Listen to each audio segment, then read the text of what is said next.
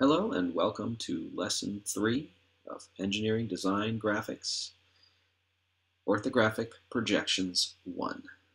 Today we're going to talk about pointers for how to draw a good design orthographic projection and limit ourselves to front, right, and top views.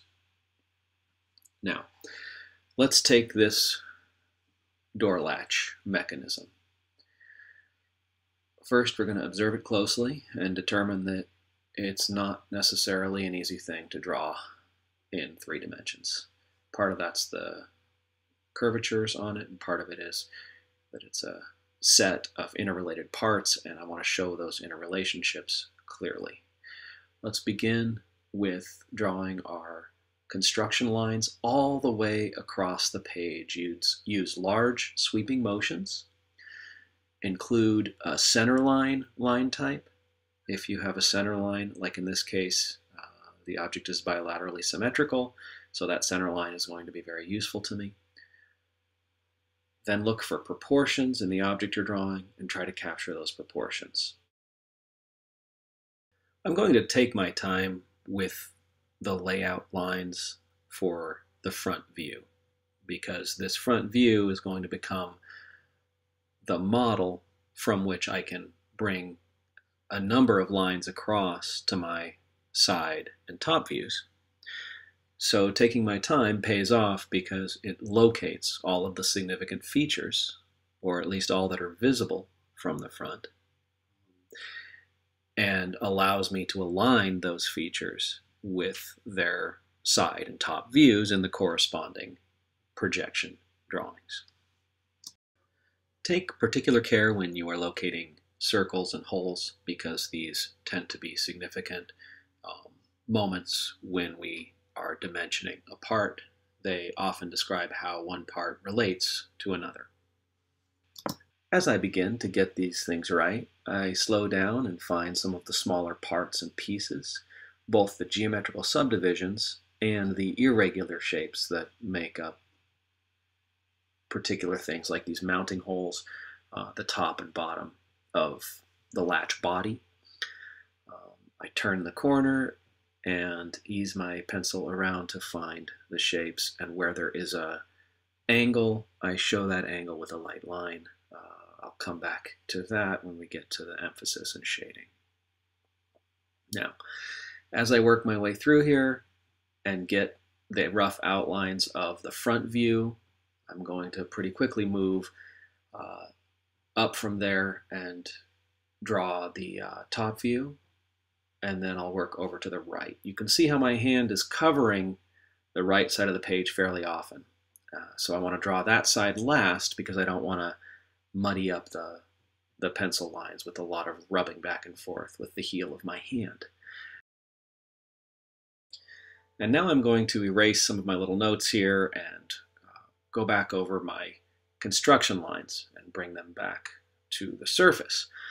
As I do that, I will take more construction lines across as I note that those particular things need to be located on the uh, right side. So I bring the lines across from the top or from the side. Now once that work is complete, I'm going to switch pencils and go back and begin to find my emphasis and profile lines to locate the particular parts of the object. I may go back and bring my center lines through to remember where those go and make sure they align. And I will add the rest of the details of the object as I find them, as I work through the, uh, the top view, bring them through and locate them on my right view.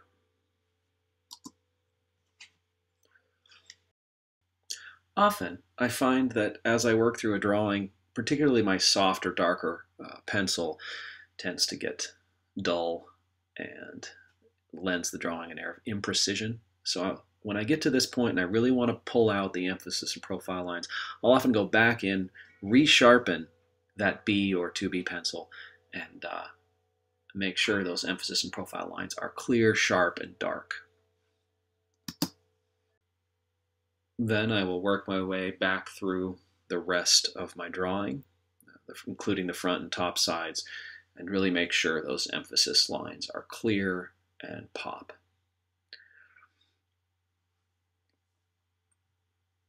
This is also a time that I may want to start using some shade and shadow, particularly in the case of curves uh, or surfaces that don't have a clear linear break between planes. That shading in a, in a design sketch can be very informative and can tell you things that you couldn't have described clearly with line work alone. The more immediate and exploratory the sketch, the more likely we are to use these impressionistic modes of drawing. If we're drawing a more time-consuming analytic drawing, we may stick purely to line work and we may move into pen, and we will get to that later.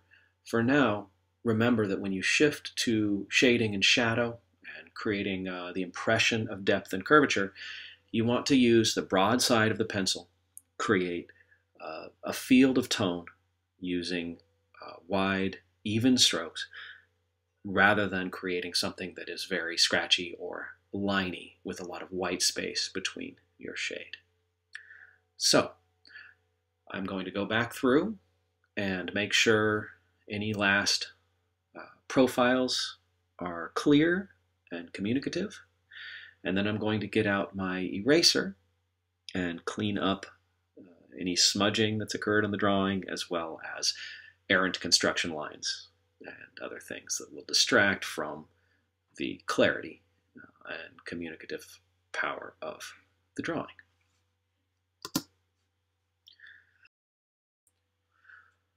Lastly, I will sit back and take a look at the drawing and make sure there isn't any other key information that I want to communicate, whether that is notes, dimensions, center lines or other attributes that uh, help to describe this particular mechanism. Those moments can be the key part of the drawing because they tell us why we did this drawing in the first place. Remember before you go to label your drawing with the name of each view and the orientation and any other uh, descriptive information or titling that the drawing is uh, that is apropos to the drawing that's all for now. Practice, practice, practice, and we will see you next week with part two of orthographic projections. Thanks for watching.